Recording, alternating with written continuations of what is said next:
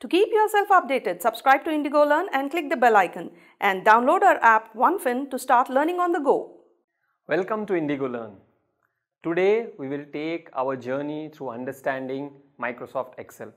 Now whether you are working in finance or in sales and marketing or in operations, wherever you are working, wherever you interact with numbers, this is one software you would be required to use.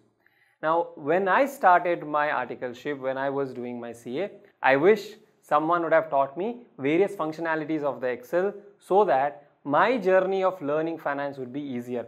I would have been able to work more efficiently. Only after working for 3 to 4 years I realized the importance of Microsoft Excel. Though I knew some basic things, I was not aware of how I could use Excel to save time to do things faster. Now for a lot of us, we think Excel is something where we just need to capture the numbers. It is not that way. As we understand various functions of Excel, as we see various practical applications, you will understand how this software can make your life easier. Before I thought of starting these lectures, I spoke with some students, I spoke with some working professionals, I spoke with some of the interns. I in fact carried out a survey where I asked them some simple questions like what are the three things that you think you should have known before you started your career and I got answers which were very basic functionalities of Excel. Some of them came back saying had we known SUMIF we would have been in a much better position while we started working. Some of them came back saying we wished we would have known pivot table and then some people came back saying VLOOKUPs. So these are some basic things that we need to learn before we start our career.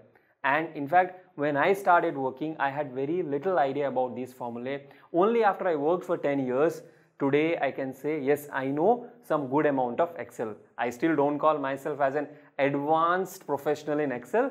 But yes, I know some formulas, some data analytics abilities, some tools, some techniques which came out of my own learning experience. Apart from whatever I learned by attending some sessions, there is a lot of insight that I got while I started working.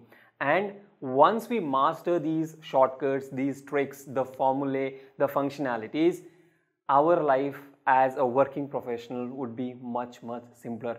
You will not believe you will be able to do your work much faster if you know some basic stuff about Excel. Now, as we start this Excel learning journey, we'll talk about some of the basic stuff, then we'll understand some of the basic formulae, then we'll move on to some advanced formulae with a lot of practical application.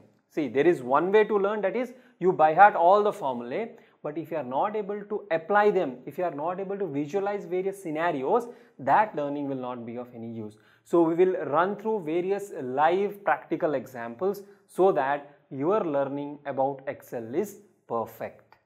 So now let's start our journey and let's understand the various aspects of this beautiful software Microsoft Excel. Now Excel when I say it's an application which is provided by Microsoft and which is widely used across the globe. Now what is this Excel all about? This Excel is nothing but a spreadsheet application.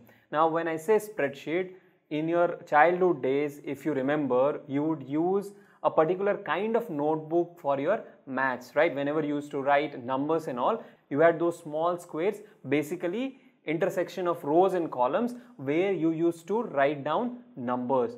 Spreadsheet is nothing but a similar kind of a display or a paper where you can see a lot of rows and columns where you can capture data.